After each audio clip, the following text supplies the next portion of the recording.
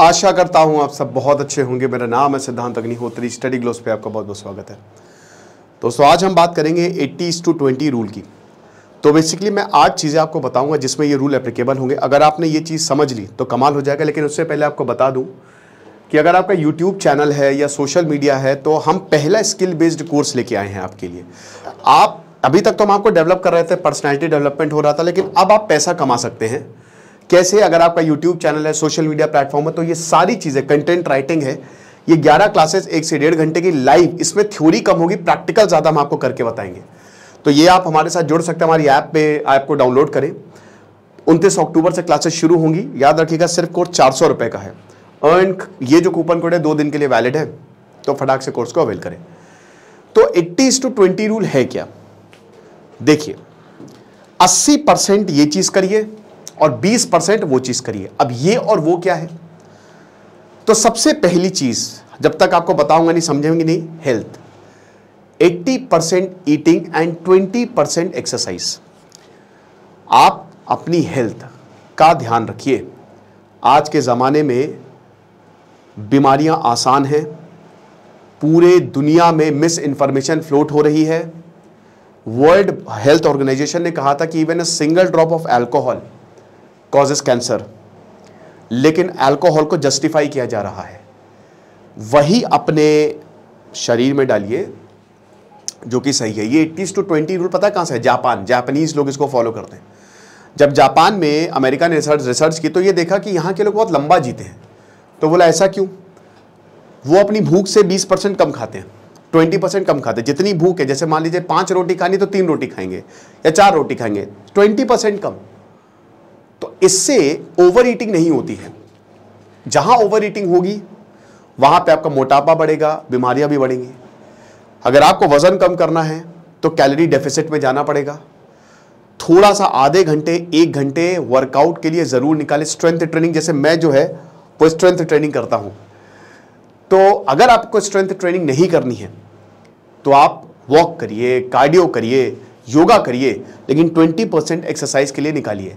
क्योंकि अगर आपने ये कर लिया, मैं यकीन के साथ दोस्तों कह सकता हूँ, जो भी आप परेशानी फेस कर रहे हैं, अगर आप दुखी हैं, दो तो महीने के अंदर अंदर खेल खत्म हो जाएगा। समझ रहे हैं? तो सबसे पहले तो इस इस रूल में जो 80 इस टू ट्वेंटी रूल है, ठीक है, इसमें आता है आपका हेल्थ ठीक है? उसके बाद अगला जो रूल है, इसमें आता है आपका वेल्थ मतलब अगली जो चीज़ है। अब वेल्थ का क्या मतलब है? 80 परसेंट हैबिट 20 परसेंट मैथ्स ठीक है? यानी कि एक एटॉमिक हैबिट मेरी वन ऑफ़ द फेवरेट किताब है। ठीक है? पहले मैंने पढ़ी थी सेल्फ हेल्प ग्रुप जो बुक्स है, वो मैं पढ़ता रहता हूँ। थिंक एंड ग्रो रिच इन सबकी बाप है वैसे तो। पावर सबकॉन्शियस माइंड भी इन सबकी बाप है, लेकिन एटॉमिक हैबिट्स बहुत बड़ी। जेम्स क्लियर ने काफ़ी कुछ बताया है। उसमें आपकी हैबिट आपको बनाती है। याद रखिएगा कि आपकी हैबिट आपको कंट्रोल करती है। आप आगे जाके क्या बनोगे, ये आपकी हैबिट्स डिसाइड करेंगे। आप सक्सेस होगे नहीं होंगे। अगर आपको जल्दी उठने की आदत है, बहुत अच्छी हैबिट है लॉन्ग टर्म में आपको बहुत गेन देके जाएँगी। कोई भी हैबिट को पूरा होने के लिए एक से दो महीना लगता है। अगर आप कोई भी चीज़, आप, मैं तो कहता हूँ एक एक से दो महीना भी नहीं, आप कोई भी चीज़ बस एक हफ़्ते करके देख लीजिए, वो आपकी हैबिट में आ जाएगा, अपने आप। अब उसके बाद आपका आता है मैथ्स अब देखिए वेल्थ में क्या होता है कि वेल्थ आपकी बनती है आपके हैबिट से। इसमें आपकी मैथ्स भी बहुत इंपॉर्टेंट होती है। वेल्थ आ गई, सब कुछ ठीक है, लेकिन क्या हम उसको ठीक से खर्च कर रहे हैं कि नहीं? एग्ज़ाम्पल के तौर पे आपके हैबिट सही है। पैसा आपने, आपकी मतलब पैसा आपके बैंक में है अब वो पैसा आपके बैंक में पड़ा पड़ा सड़ रहा है, उसको कहीं इन्वेस्ट कर दो। आठ नौ लाख रुपए, मान लीजिए आपका पैसा सड़ रहा है तो इन्वेस्ट कर दो ना। रिटर्न लो, पैसे से पैसा बनाओ। आपके घर का बजट सेविंग सबसे इंपॉर्टेंट होती है। सेविंग से बड़े बड़े बिज़नेस बनते हैं। मैं ऐसे कुछ यूनिकॉर्न्स को जानता हूँ जिन्होंने अनाप शनाप खर्चा किया।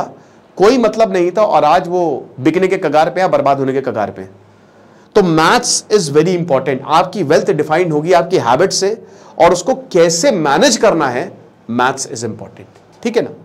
अगला टॉकिंग बहुत इंपॉर्टेंट द मोस्ट इंपॉर्टेंट जो हम बात करेंगे, वो करेंगे टॉकिंग अब इसमें क्या है? अस्सी percent you have to listen right twenty percent बात करिए। सुनिए।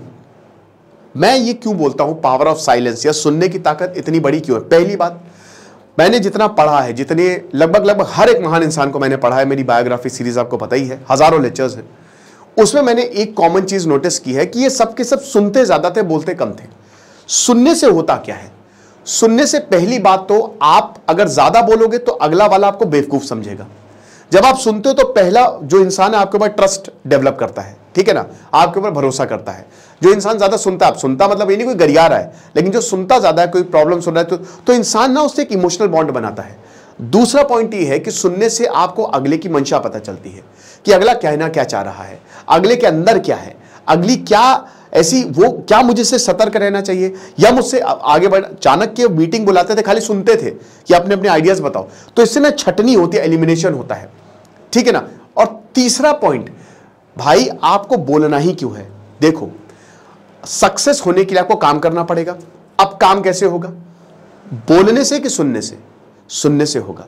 आपने आइडियाज़ सुने, आपने इंसान को सुना, आपने उसकी रिक्वायरमेंट सुनी। आप बोलोगे तो वो इंसान आपसे दूर चला जाएगा। फर्जी में बहस करोगे, फर्जी में अपने आइडियाज़ ना।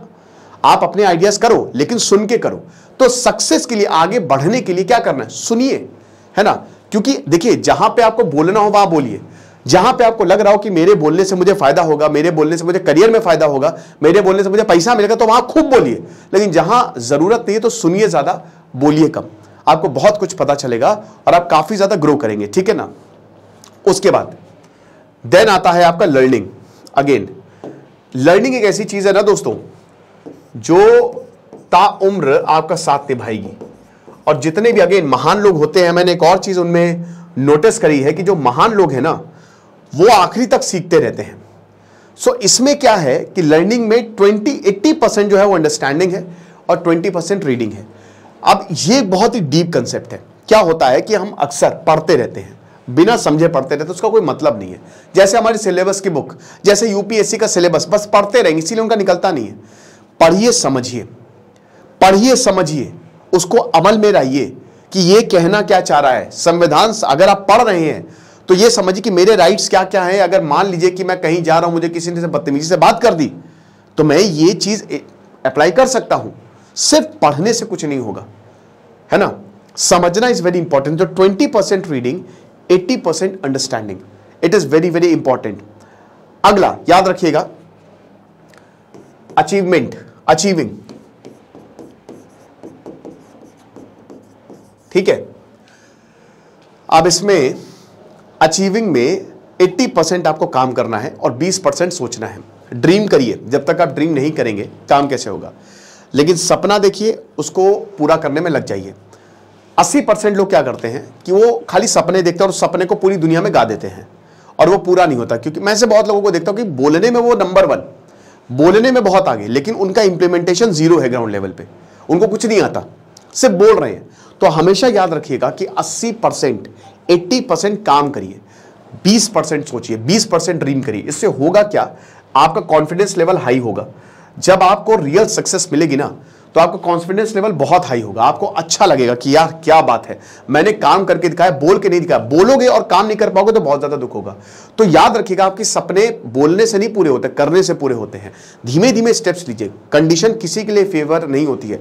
उल्टी बहती धार है बहरी। याद रखिएगा कि उल्टी बहती हवा है, उल्टी बहती धार है पानी की। आपको उसके अगेंस्ट जाना है। दुनिया रोकेगी, दुनिया आपको बोलेगी, लेकिन उसके अगेंस्ट लड़ते हुए धीमे धीमे आगे बढ़ते जाइए। चाहे कितनी भी खतरनाक कंडीशन हो, और अल्टीमेटली आपको सक्सेस मिलेगी ही मिलेगी, ठीक है ना? तो याद रखिएगा, उसके बाद हैप्पीनेस हैप्पीनेस अगेन अब आप बोलेंगे, सर, इसमें कैसे रूल अप्लाइज होता है?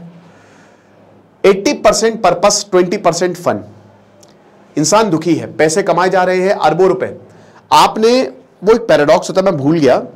वो यू शेप पैराडॉक्स होता है, मुझे याद नहीं आ रहा है। वो ऐसे होता है। आपका ये है मनी, ठीक है? और ये आपका टाइम है। तो ये ऐसे जाता है ये, ठीक है? मैं सॉरी, ये उल्टा मैंने बना दिया। सॉरी, मनी और हैप्पीनेस। सॉरी, ये गलत मैंने मैं आपको बता अबे यार! ठीक है? ये आपका मनी है और ये आपका हैप्पीनेस है। तो ये ऐसे जाता है। जब पैसा आएगा तो बहुत बढ़िया तरीके से, ठीक है? बहुत बढ़िया आप ऊपर जाओगे ऊपर जाओगे ऊपर जाओगे, लेकिन उसके बाद क्या होगा ना, ये एक पॉइंट पे आके पैसा आपके पास आएगा, लेकिन आपका जो हैप्पीनेस है वो कम हो जाएगी। यानी कि शुरुआत में तो पैसे से आपको बहुत बढ़िया, लेकिन उसके बाद ये यू बना रहा है ना, ये ऐसे हो जाएगा। तो होना तो इसको ऐसे चाहिए, ठीक है? लेकिन ये ऐसे जाता है। अब ऐसे क्यों है? क्योंकि देखिए, जब आप पैसा कमाने लगते हैं तो एक पॉइंट पे आके आपकी सारी इच्छाएँ पूरी हो जाती हैं। अब उसके बाद आप क्या करोगे? उसके बाद सारी इच्छाएँ खत्म। वहाँ से एक अगली चीज़ शुरू होती है। वहाँ से अगर आपको इस कर्व को ऊपर रखना है तो वो है पर्पस पर्पस तो हैप्पीनेस का मतलब आपके पर्पस क्या है लाइफ का? आप लोगों की ज़िंदगी को अच्छा बनाइए। रतन टाटा के पास बहुत पैसा था।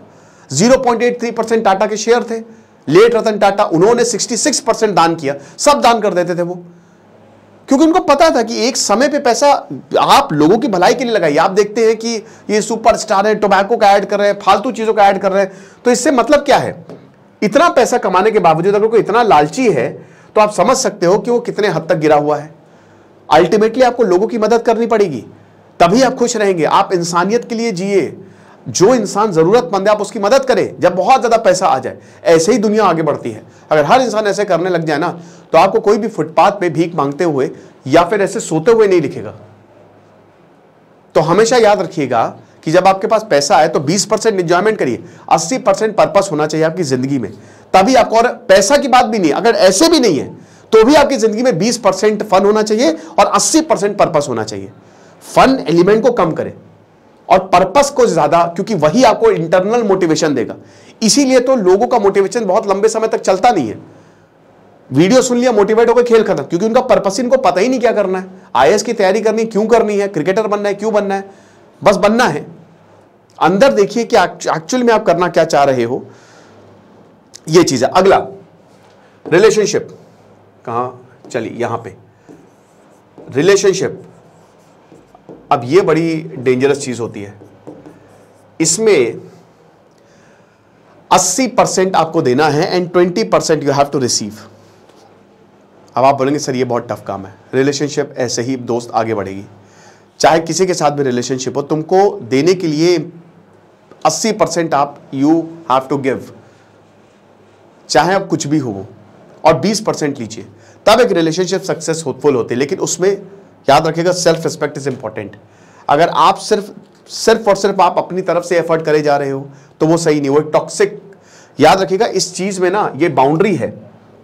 There is a big boundary और कब आपकी ये, यही 80 20 रूल ये टॉक्सिक हो जाता है, आपको नहीं पता चलता तो हमेशा याद रखिए कहीं आपकी सेल्फ रिस्पेक्ट तो कॉम्प्रोमाइज नहीं हो रही है।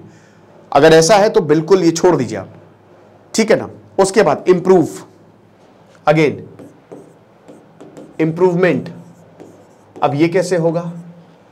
80 परसेंट ट्वेंटी परसेंट आइडिया और 80 परसेंट परसिस्टेंस इंप्रूव करोगे। आइडियाज़ लेके आओ। मेरे पास बहुत सारे आइडियाज़ आते हैं, सर, यहाँ इन्वेस्ट कर दीजिए, वहाँ इन्वेस्ट कर दीजिए। बट परसिस्टेंसी नहीं रहता है। मैंने कहा आइडिया पे कोई इन्वेस्ट नहीं करता, मेरे दोस्त। इस दुनिया में भारत छोड़िए, दुनिया छोड़िए 140 करोड़ भारतीय है, हर किसी के पास आइडिया है। इंप्लीमेंटेशन किधर है? हार्डवर्क करिए। परसिस्टेंस परसिस्टेंट रहिए अपने आइडिया में। तभी लोग आपके ऊपर भरोसा करेंगे। तो ये 80 टू ट्वेंटी रूल था आपके सामने, आप चाहें तो इसको लिख लीजिए कहीं चार्ट बना के, और इसमें अगेन दो दो एरो निकाल के जो मैंने आपको पॉइंट्स बनाए, क्योंकि ये आपकी बहुत ज़्यादा मदद करेगा, ठीक है? बाकी आप हमारे ये शानदार स्किल डेवलपमेंट कोर्स जिसमें आप अपना यूट्यूब सोशल मीडिया बढ़ा सकते हैं और अर्न कर सकते हैं, ज़रूर आप इसको आजमाएँ। Thank you so much